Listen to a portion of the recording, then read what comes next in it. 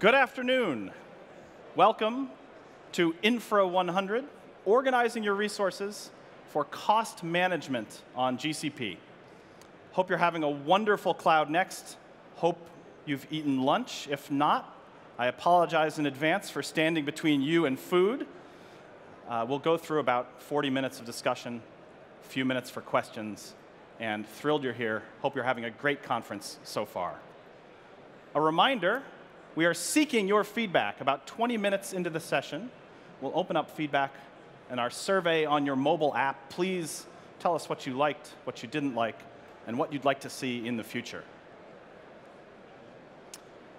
We are here today to answer one question, and that is, what is the best way to structure your resources in order to understand and manage costs on GCP? And so bear that question in mind as we go through a journey today. We'll start with a brief introduction, a couple of definitions and key concepts. It wouldn't be a technical discussion without having hello world. We'll move on to how to structure organizations in GCP, talk about folders and labels, a couple of advanced topics, summarize the whole thing, and then leave time for your questions. First, who am I? I'm James. I'm a product manager in cloud billing. I've been on that team for about two years. And we're a team of product managers and engineers and UI and UX researchers and writers uh, who work every day to help make cloud billing trustworthy, transparent, simple, and predictable. We know you want demand predictability in cloud. And of course, we try to do that at really compelling prices. And today we'll talk about the structure of resources in cloud, projects being the core, and organizations and folders and labels, helping dive down into those projects, separate them out when you need to, and report across them. Labels are a particularly important one for us, and we'll dive into how you can use labels as a cross-cutting way of looking across everything you run in your, in your estate on cloud. And we'll talk about all the different ways you can both report on, visualize, and export cost data. We'll also reference some other sessions later uh, today that talk about budgets, alerts, and controls. We'll touch on those, but there's some other sessions that dive deep into them. And our journey today starts with you as a solo developer. Imagine you're in your garage with your dog, as I'm told all solo developers have, right, of course. And you've started on cloud and you're growing into a small company, into a medium, medium-sized company, hopefully into a huge corporation or organization. What does that journey look like on each step of the way, and how do you perceive cost on each step of that journey? So first off, how many of you have eaten lunch? Ah, that's good. That's important. Glad to hear it. How many of you are a solo developer with or without the dog? Any solo developers? N one. A solo solo developer. That's good. Thank you.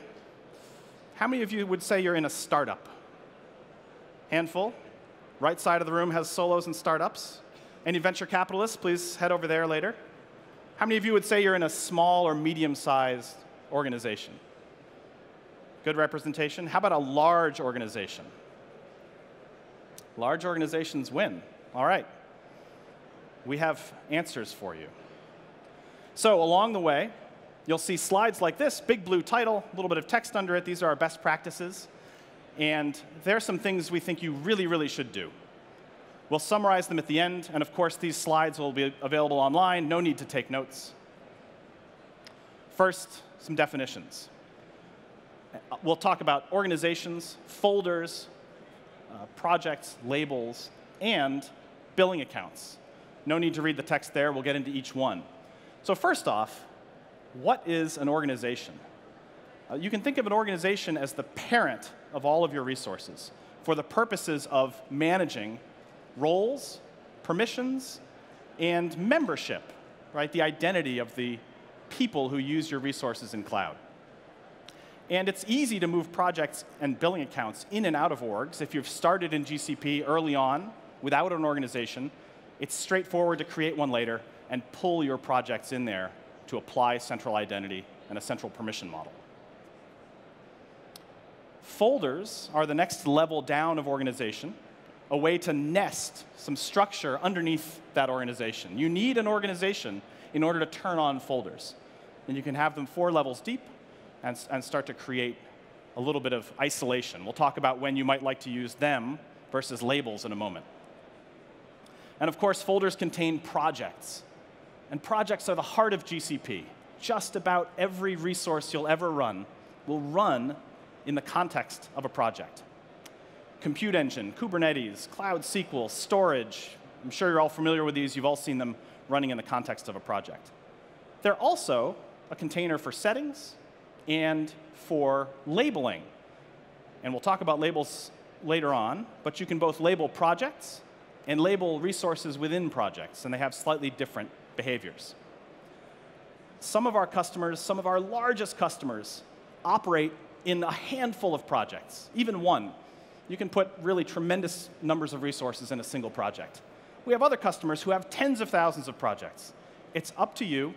It should mirror how you work, and we'll talk about some of those trade-offs coming up. Labels, as I said, can apply both to a project and the resources within a project. And you might set a label based on what team the, the particular project relates to, or what kind of resource is it? Is it a database? Is it a web server? Which division of your company does it relate to? Is it an alphabet project or a Hooli project? That's the kind of labeling you can do at the project level or at the resource level. And not all services support resource level labels, uh, but the big ones do. There's a list of the 17 or so on our website that support that level of labeling, and we're always expanding labels to cover more surface area. Of course, this is a billing discussion, so the talk would not be complete without billing accounts. And a billing account is the entity in cloud that pays for projects and pays for the resources contained in them. One project is always funded by one billing account. And we'll talk about some of the trade-offs you can make and reasons why you might end up with multiple billing accounts. Uh, most probably have one, but it is valid for some larger organizations to have multiple accounts. Now, a note on billing account permissions. They're independent from project and resource permissions. So for example, if you gave your CFO the billing account administrator permission, even if that billing account funds all sorts of projects and resources, your CFO does not gain any project permissions as a side effect of being a billing account admin. So the billing account and billing permission space and the project and resource permission space are separate, and that's an intentional choice because we think those roles are very different. And of course, it's easy to move projects between billing accounts. It's a one-click operation. You can switch them around if you ever have a need to consolidate or to split out those accounts. Of course, that's the structure. Now, how do you actually see the charges that are raised throughout this hierarchy of project folder org? Uh, we have a variety of tools that are offering visibility, being able to see and report on cost, accountability, who did what, when, control, making sure you can set budgets and alerts to know when you've crossed certain spending limits or dollar thresholds, and intelligence, trying to tell you what's happening next and forecasting your costs as your world shapes and moves in the cloud. This leads to a really, I, we think, really important first best practice, which is turn on your BigQuery billing export and you might say, okay, that's a funny best practice. Why is that the first one? We'll see in a few minutes. The BigQuery billing export has the highest level of detail about what's happening from a billing perspective anywhere in GCP.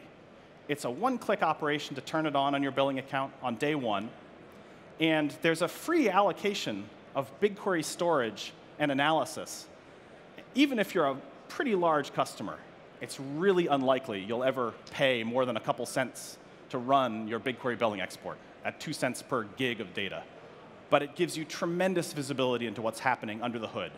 Hourly granularity of usage reporting, sliced by project, by label, uh, at every SKU in our catalog. And we'll look at some examples of that coming up in a moment. So turn that on. We'll see how to in just a second. All right, enough of the hypothetical world. Let's get into the hello world. This might be a familiar picture for someone starting out on GCP. You have a billing account, it funds a project in blue, and you have a smattering of resources in that project a little bit of compute engine, you've got a Kubernetes cluster, you've got some storage, you're running some BigQuery as a test to see if that's a nice data warehouse for you, and Cloud SQL maybe is the back end of your website. So here we have the fundamental relationship uh, of pays for versus owns, which is to say, billing accounts pay for projects, and projects own resources. These are two separate kinds of relationships. As I said before, if your CFO is an admin of your billing account, they're funding the world, but they don't own any of those resources. They don't have any permissions on those resources as a side effect of having that billing role. So the pays for and owns world, the billing world and the resource world are split from a permissions and IAM perspective. So let's take away some detail here and just get down and focus on the project itself. So you're a small company, you have these resources running, things are good, you've hired some developers, you've hired Alice and Bob, one developer, one sysadmin. They're fantastic, you love them, you think they're the best. Unfortunately, Bob is not the world's best systems engineer, doesn't quite know what rm-rf does at the root, didn't know why that hung for so long after he pressed enter, scratching his head. Alice, fantastic, not the world's best SQL author, running a long update clause, didn't actually scope it to anything, so that's running off into the woods. You start to think, hmm, maybe we should partition our world a little bit and split out production and development let's have two projects. Let's partition the world so that Alice and Bob can run whatever they like in development, not blow away everything in production.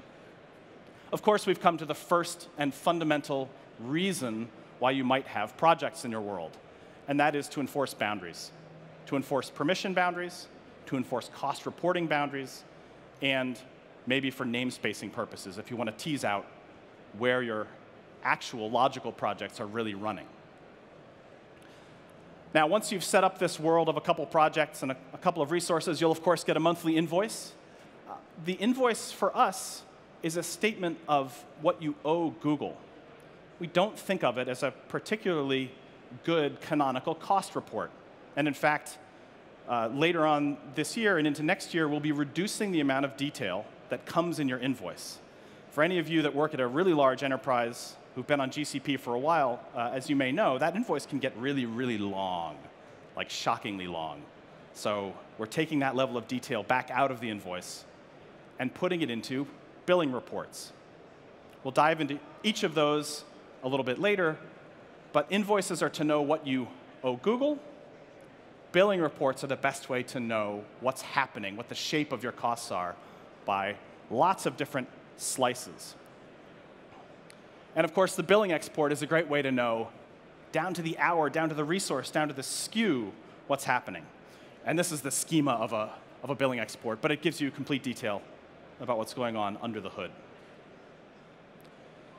Setting up that export, as we said as our first best practice, involves going into your billing account, clicking on billing export, choosing a project and a data set name, and pressing go. And from that moment on, we'll write all that high resolution fine granularity billing data into BigQuery. So cost reporting is the why and the way to dig in and find out what's happening under the hood. We'll look at a couple more cost reports after we add a bit more structure to this organization. So we're growing. Our startup has gone from Alice and Bob toiling away with your pesky dog at their leg, and now we have a bunch of projects that break out the parts of our world we have staging and a staging environment between dev and prod. We have a macro service, some old legacy application that we pulled in. It's where all the COBOL is. Any COBOL developers? Nope, I've offended no one, except those who haven't eaten lunch. Uh, the top secret project, the CTO put that there. We're not sure what that is. No one has permissions to it. It's probably fine. And our archive, big old storage buckets where we put some legacy, some backups, and other stuff. But of course, the yay, we have projects can spiral into, oh dear, we have projects.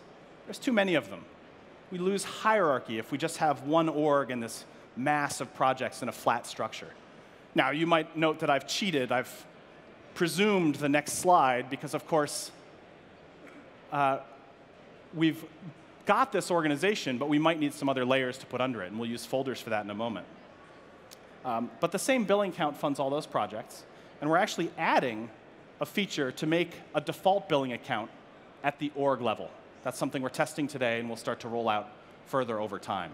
Uh, for those of you who have lots of projects and never want to think about which billing account funds them, this is something you'll want to turn on, and we expect to have most customers turn it on by default. So in this world of many projects, how do costs actually appear? Show me what the reporting looks like, James, wouldn't you? Here is our main view of cost reporting. And this is a graph by project over time of our spend with some trending. And the trending is a little bit clever. The dotted line uses some algorithmic magic to try and forecast based on a bunch of inputs what's going to happen in the future. It's not just a linear progression, it's doing more than that. And you notice on the right, there are a bunch of ways to filter and group this report. They are project, by product family, by SKU, by label, and by region. And for those of you who've used this report before, you may note that region and label haven't always been there. Those are relatively new. The label is one that's key and really important for us. And we'll talk about that label versus folder trade-off in a minute.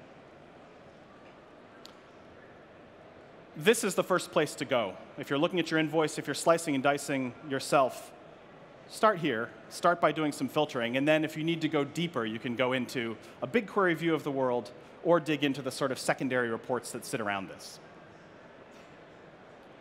in BigQuery, you're one SQL query away from getting complete detail about what's happening in your world. This is a 13-line query that fans out this data, sums it by folder and by label. So that's a little bit of SQL, but it's not much. And the level of detail and granularity you get is tremendous. Of course, you can use Data Studio and other visualization products trivially on top of BigQuery to see uh, a visualization of what's happening with those costs. We've recently added the cost table. And as we're taking detail out of the invoice to simplify that world, we're adding it to tabular reporting.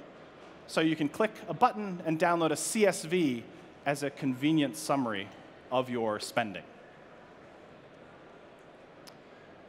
We've also added the cost breakdown. Here we tell you why you're paying a certain amount of money with some common sense uh, waterfall. Meaning, how much of it were charges I paid due to usage, how much of it were my commitments in the form of committed use discounts, how much of it uh, did I get other discounts or sustained use discounts and credits applied against that usage. So you can see and break out the actual uh, savings you might be receiving. And finally, behind the invoice, there's also a CSV uh, that lists that similar tabular view of what's happening under the hood on a daily basis. Right, so we've gotten through organizations and projects. Orgs are for everyone. We encourage you to create an organization. You can attach it to a G Suite domain if you have G Suite, but you don't need G Suite. You can also turn on identity as a service and attach it to your own domain just for plain identity purposes, and that's free. So orgs are for everyone, regardless of whether you're a G Suite user or not. Right, let's get into folders and labels. As I said with my diagram before that kind of looks like it wants folders, of course, there's multiple ways to cut it. We could say, let's go by environment. What are our production projects, our staging projects, our development projects? We just acquired two companies. We'll put those in a biz dev world and maybe tease them out later as they come into the normalized world. Top secret, don't mention it, just keep it off to the side, doesn't need a folder, it's not there at all. Archive will leave by itself. But the key with folders is to align them to how you work. You can think about them as the primary key, the primary structure above projects. So it doesn't have to be this lens of the world. You could pick a different lens. Maybe you want to structure by what's my core application versus the old macro service, the legacy application, keeping BizDev alongside. Structure's up to you, but we think it's something worth thinking about and reasoning about carefully when you start this folder structure. Unlike labels, which are a little bit more ephemeral and can be easily changed, it's harder to change and shuffle folders and have consistent reporting over time. So give that some thought. And of course, you can have lots of folders. Now we've grown to the point where we have sales in multiple regions, in APAC and EMEA, and we've nested them. So lots of depth if you care to go down that path. Use folders to mirror how you work. Think a little more carefully compared to some other structural choices about uh, what your folder schema should be.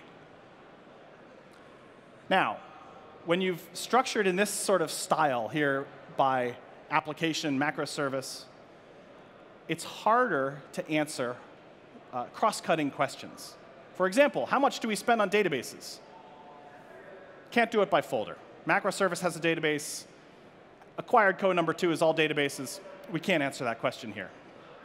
So let's zoom in just on the app world and think about how to do a sort of secondary index using labels. So we've broken out our folder, our projects. Let's look at the resources under the hood. We have compute engine, we have storage, we have some pub/sub. If you're running MySQL, for example, or Postgres on a bare metal GCE node, you might label them as an instance type of database. Now, Cloud SQL, of course, you can label as a database as well. But what if you have database backups sitting in storage? It's valid to label those two. So the label applies a cross-cutting view, both in cost reporting and in BigQuery, of the sort of secondary index view versus your folder structure. So folders are mutually exclusive. A project can only live in one folder. It can live in a, a hierarchy, but it must eventually live in one folder. Labels can be applied ad hoc, uh, lots of them as both key and values that you set, and you can apply them at the project level or at the resource level, as many as you like, change them over time. As we said, be deliberate uh, especially in folder creation. We also suggest creating a dictionary for labels. And those are areas we're looking at adding features to as well to help uh, enforce that view of the world.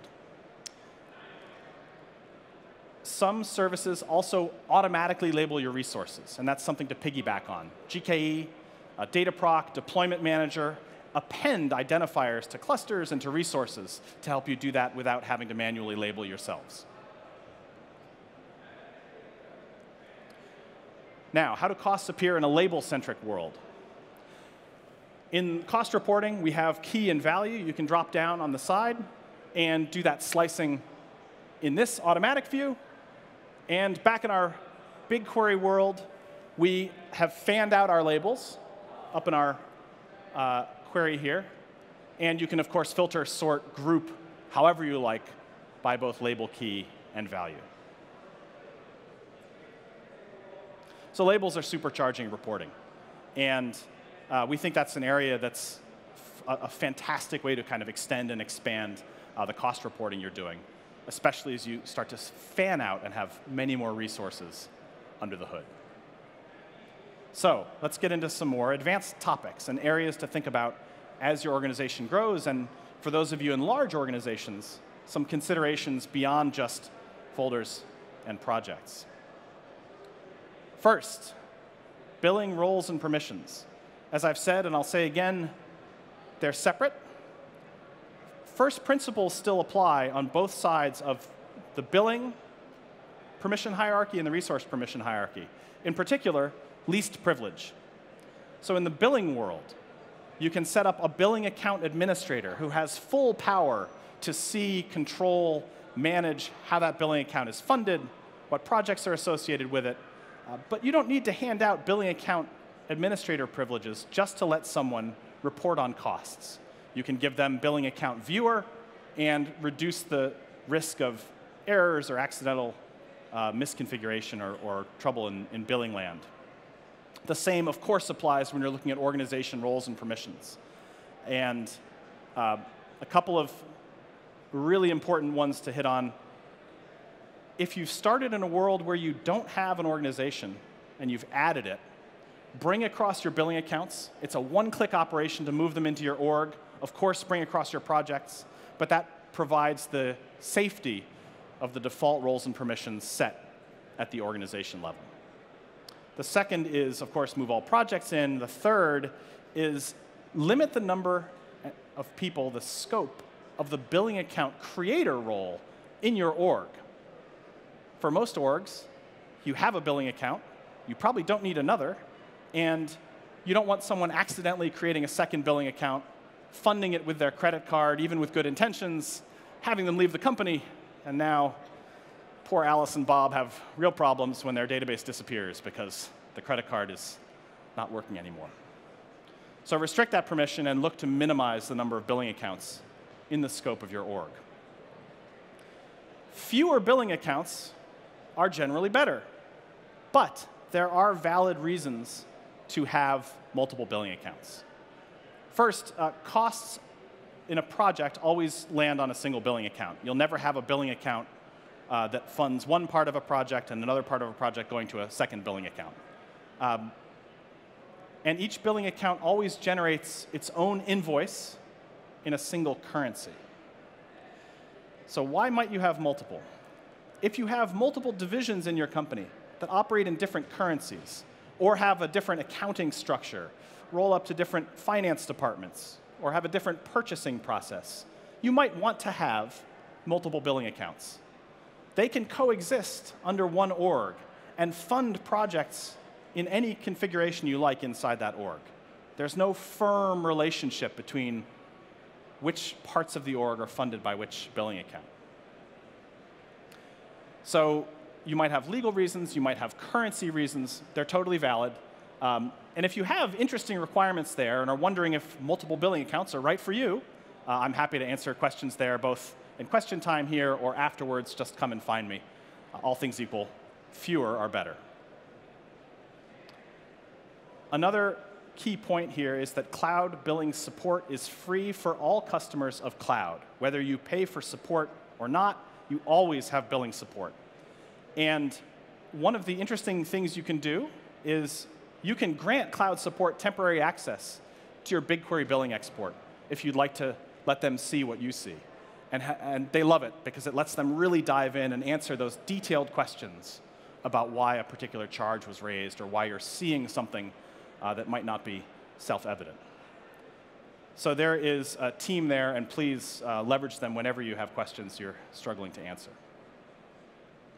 So, to summarize, seven best practices. The first, turn on your BigQuery billing export on day one it's likely to cost you nothing at all or pennies a month, uh, as it's two cents per gig of storage. You'll be a very large customer by the time you're doing gigs a month of billing data. Use projects to enforce boundaries, both permission boundaries in the spirit of least privilege and cost and reporting boundaries when you know that a particular set of costs are always going to reside in one logical container. The third is use cost reporting rather than picking through lines in an invoice because the aggregation and the slicing and dicing is more natural in that cost reporting view. The fourth, organizations are for everyone. Even if you're not a G Suite customer, you can use IDaaS for free and get that extra level of control. Um, and as we said, we'll have a feature that lets you apply a default billing account across everything in the org if you're a one billing account customer, you're never going to add another.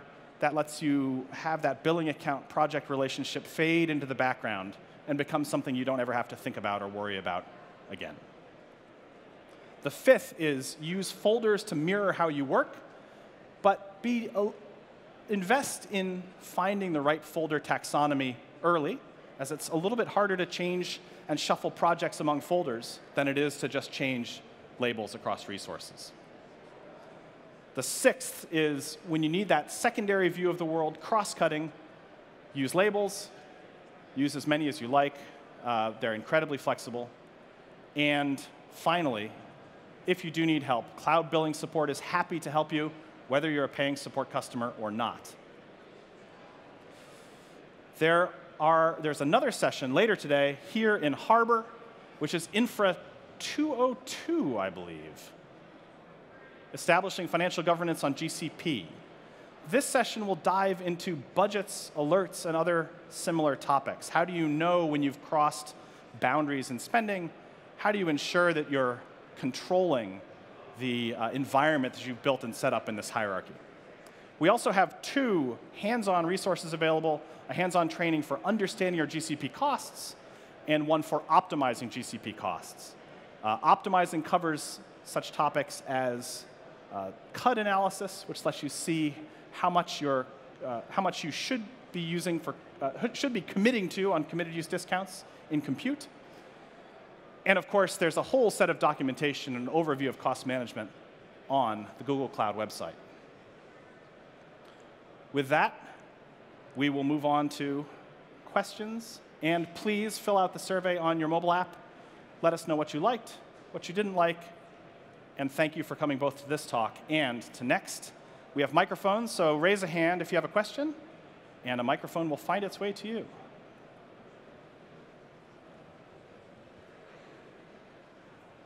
Hi, good afternoon. So um, I was wondering, uh, because in the company I work for, we are a, a wood manufacturing uh, company. So we have uh, different factories mm -hmm. and different sections of the company that do different things. So uh, for us, the labels are not uh, kind of lack the entity we want for our factories. Mm but we are all under the same domain. Mm -hmm. So I, I, was hoping to be able to uh, just add different organizations with the same domain. So, so because we uh, uh, IT is centralized, so mm -hmm. we. Um, then push the costs to the other sections of or to the other factories as, as IT costs. So we uh, it will be really cool if we could get, for example, I don't know, a UK factory as an organization, and then I don't know, a Spain factory and, and stuff, but all under the same billing account and all under the same domain. So it's that possible. Got it. Let me restate the question and answer it uh, a couple of different options. Okay. So the question is, with different departments in one company, can you have multiple organizations under the same domain? Um, the answer is not with the exact same domain. Um, and you may want to push down that level of structure down to folders. Um, a couple of other notes about that. A billing account can fund projects in any organization. So if you actually did have multiple orgs, which is not super common, you could fund them with a single billing account. The billing account doesn't mind. It will fund anything. Uh, but I, I would suggest you should consider folders and using either tabular reporting or the BigQuery export to group by folder. We, we are using folders now, but that quite gets really uh, long because you have all this structure behind the folder. For example, UK factory, and then you have production, development, and all the stuff you have there, but in all repeated. The, yeah, repeated. So that's yep. kind of, you know, we, I, uh, we think that folders lack the entity for us, for us in our personal case, yep. to be, uh, you know, organization could be more for us. Okay, well, come talk to me afterwards, because I'd love to introduce you to some of the folks who work on the organization side of the world to see what might suit your use case. Okay, perfect. So thank you. Love to follow up. A couple more questions, several questions. In the middle. Yes, hi. Hi. Uh, I have a question on labels. If you have multiple labels on one specific thing, yes. how does the cost get split amongst the labels? It does not get split. It applies to all of them. But if you have if you have the same key for if you have two labels with the same key, like you, say you have a uh, compute instance that Hmm. both run a database and run a web server, for example. Got it. How does that cost end up in the report? In the report, um, you actually saw it. You saw the answer hidden in a SQL query. I'll go back to it. See if I can click quickly. Um, BigQuery uh, supports nested structures in its supports nested values in its columns. So if you saw this ninth line, we unnested labels. Um, the way they appear, if you actually looked at the row without doing the unnesting, is you saw a row of cost for that SKU for that hour, and then a set of key value pairs all applied to the same row. So you'd see one row with multiple key value labels all associated to it. So effectively, the cost, um, if, you, if you broke them out, you'd see the same cost for each label. We don't attempt to split. Okay, so if you would uh, do a report, you would get, let's say the machine costs $100 a month. The, it would be $100 for each key unless you Yes. do the math to split it. That's right. And I think we, uh, we're doing a lot of work in cost attribution. This is an area that's difficult for us because we don't know the intent behind the label. We don't know if it's duplicated or not or how to tease it apart. Um, if you have a heuristic for us or a way that you think might work, we'd love to talk about it. Uh, because we, we really want labels to be used often for these kinds of cases. So thank you. Lots of questions on this side. Other side of the room, you're going to have to come. Oh, there are questions over there as well. I'm sure we'll get to them. Oh, go ahead. Uh, firstly, thank you for the talk. Of course. Um, secondly, um, I'm in the process of migrating uh, the applications we run over to GKE, Mm-hmm. and I'm sure in six months I'm going to get asked how much is this particular workload costing us on a month-by-month basis. It's very easy to see how much we're paying for the production GKE cluster, for example, but how much that workload costs. Is there any tools available to, to help attribute um, what that workload costs? Sorry. Yes. Uh, there are features coming in that domain. Uh, I would ask you to come talk to me about them, but that's an active area we're working on. Uh, the way we think about it is something like a sub-resource cost, right? You have a cluster or a workload, and you want to peer into it and say, what do the pieces cost? Uh, yes, area of active development. Come talk to me. I'll tell you where it is in its, in its life. Lovely, thank you. Thank you. Uh, hi. Yes. Uh, sorry, sorry for being naive. I just wanted to ask you a question about BigQuery. Yes. The exporting, you said uh, to enable the billing exports to BigQuery. Yes. Uh, let's say I do that now. Do I get, still get historic data for all, those months before? The query, uh, when you enable BigQuery today, it's from the point in time you enable it.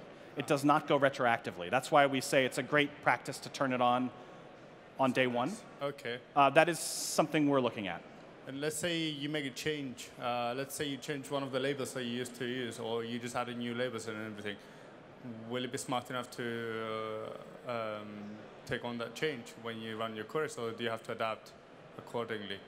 You will see that change. There's some small delay in when that change uh, appears in BigQuery, but you'll see that in effectively in the next export forward, you'll see that label applied to the resource. And uh, the reason there's some small delay is cer- some services operate differently internally. Um, but in general, you'll see it on an hourly basis as soon as that label picks up in the next export.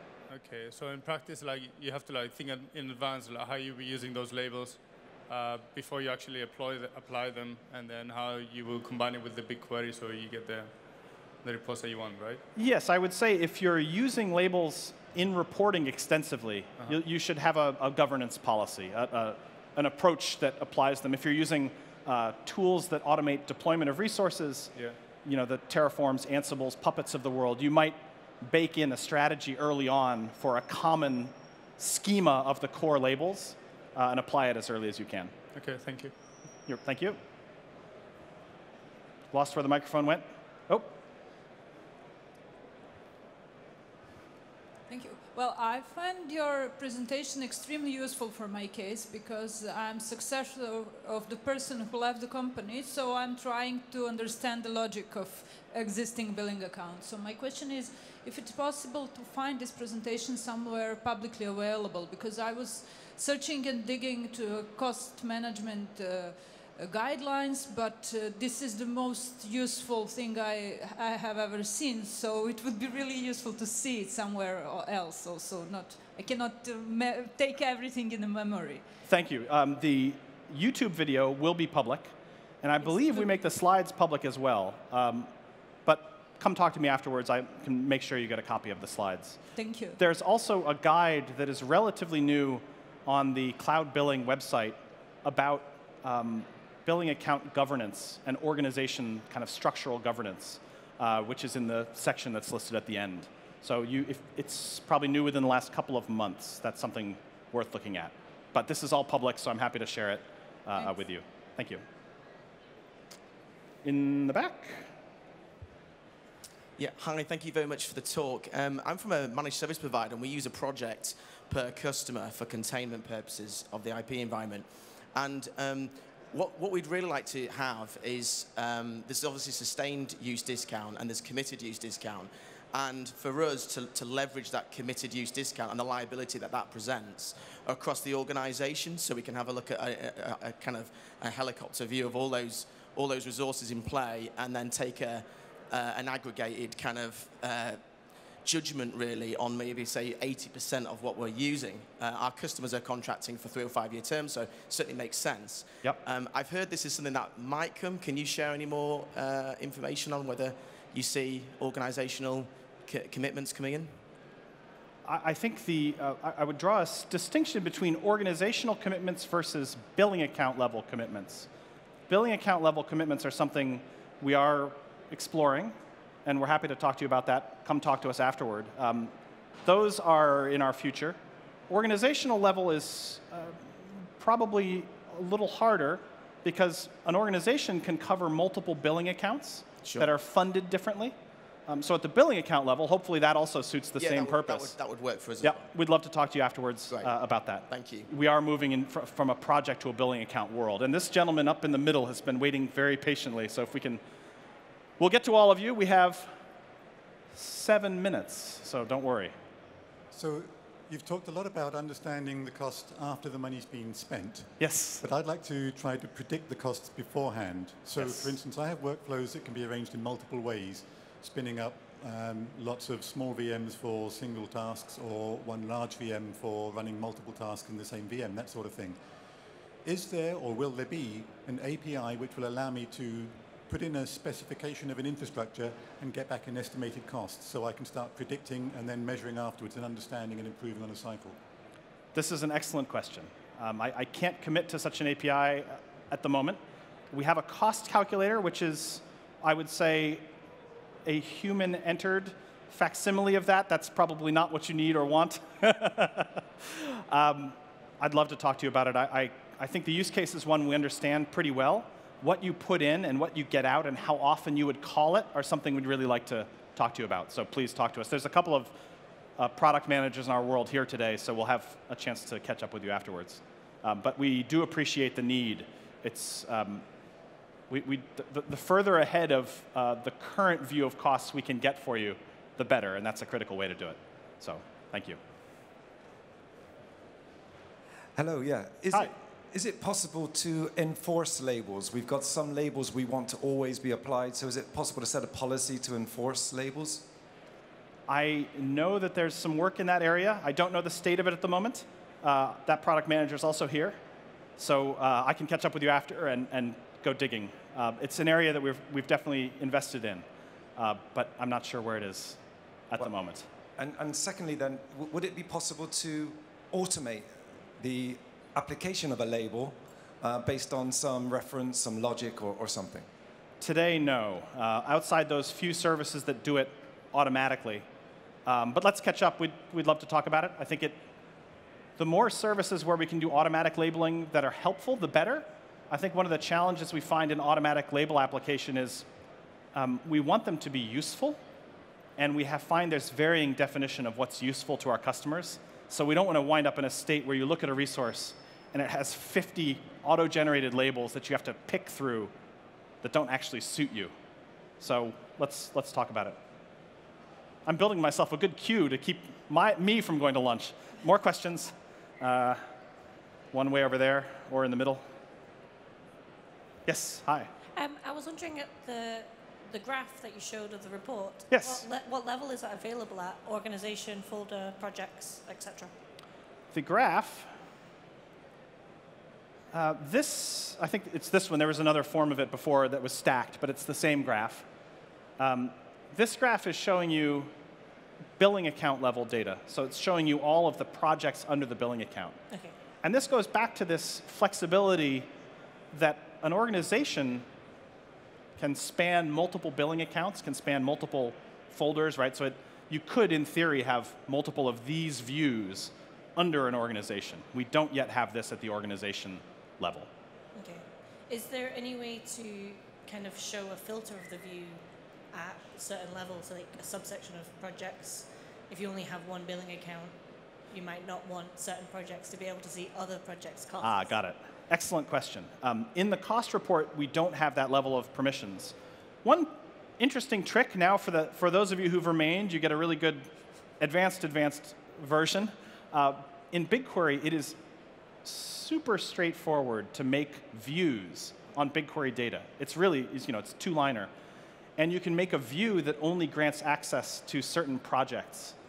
And so we find actually in the, we had a managed service provider question, we find that often uh, big BigQuery users will delegate out views of their data across projects, across folders for that kind of use case. And then you can apply Data Studio on top of it for visualization. So it's not trivial, but it's quite doable in BigQuery. Thank you. You're welcome. Question over there. Uh, first of all, it's always great to see another VA Linux alumni. How are you doing, James? Hi, Mark. How are you? Um, so this is a little bit duplicative with an earlier question, but so we have we have a contractual discount, which I think applies to our billing account, and then there's going to be CUD or SUD discounts that apply. Yes. If I understand what you said, that should be more transparent in the billing report now, which is great, but it would also be really helpful to have that in a forecasting tool. Yeah. This is a, this is a great question. Um, I think it's similar to the sort of looking forward API question. Can you go and say, this is my, the shape of my resources, what's it going to cost me? Um, we don't have it yet.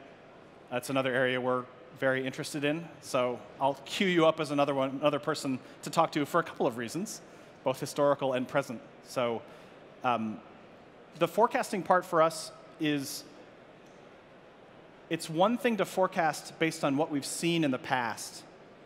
The more difficult thing is to understand the shape and change of your business over time.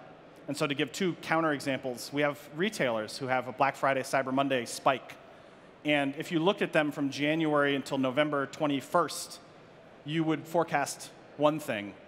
If they provided the input that said, here's what's about to come, you know, you'd have a skyscraper of usage going up at the end of November it's tough for us to understand that input, but we are very interested in figuring it out.